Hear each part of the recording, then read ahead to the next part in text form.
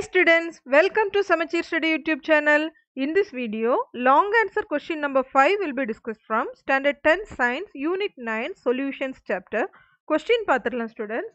A solution is prepared by dissolving 45 gram of sugar in 180 gram of water.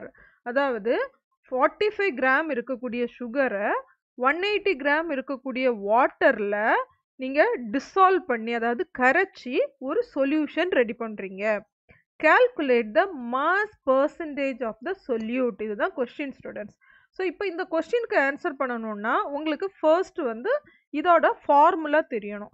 So இதோட formula என்ன கொடுத்துருக்குறாங்கன்னு சொன்னால் mass percentage equal to mass of the solute divided by mass of the solute plus solvent so இதில் வரக்கூடிய இந்த டேர்ம்ஸை வந்து அவங்க வெறுமனே சுகர் அண்ட் வாட்டர்னு சொல்லியிருக்கிறதுல எது வந்து சொல்யூட் எது சால்வெண்ட் அப்படிங்கிறத கண்டுபிடிச்சு தான் நீங்கள் கிவன் எழுதணும். சரியா?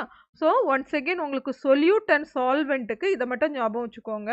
ஸோ சொல்யூட் அப்படிங்கிறது எந்த பொருள் கரையுதோ அதுதான் சொல்யூட் சால்வெண்ட் தான் அதை கரைக்கிறது. சரியா? ஸோ இப்போ வந்து இந்த கொஸ்டினில் நமக்கு வாட்டர் தான் சால்வெண்ட் இந்த வாட்டரில் எது கரைஞ்சு போகுது? Sugar.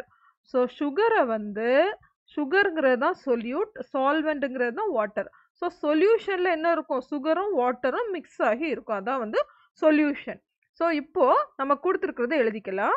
Mass of the solute is sugar so sugar வந்து எத்தனை கிராம் ஃபார்ட்டி ஃபைவ் கிராம் அடுத்தது மாஸ் ஆஃப் த சால்வெண்ட் அது வந்து வாட்டர் ஒன் எயிட்டி கிராம் இப்போ இதுதான் formula mass of the solute by mass of solute plus mass of solvent so இப்போ as per formula நம்ம value substitute பண்ண போகிறோம் mass of the solute forty five divided by mass of solute again எழுதி forty five plus mass of the solvent one eighty into hundred percentage so இதை மேத்தமெட்டிக்கலாக நீங்கள் calculate பண்ணிட்டாலே போதும் நமக்கு answer கிடச்சிரும்.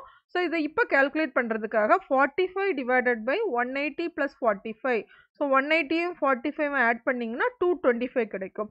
ஸோ இப்போ இதுக்கு வந்து நீங்கள் ஃபிஃப்த்து டேபிள் யூஸ் பண்ணிங்கன்னா ரொம்ப ஈஸியாகவே இதை கேல்குலேட் பண்ணிடலாம். So forty five divided by two twenty ஃபைவை ஃபிஃப்த் டேபிள் யூஸ் பண்ணிங்கன்னா nine divided by forty five ஆகும்.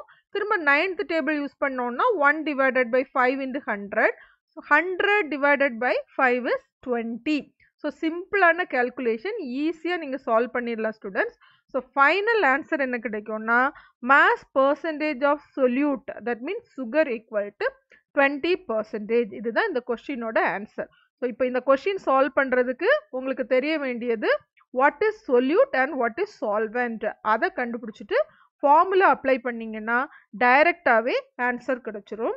ரொம்பவே சிம்பிளான problem students hope you understand this concept if you like this video please subscribe and share it your friends thank you so much for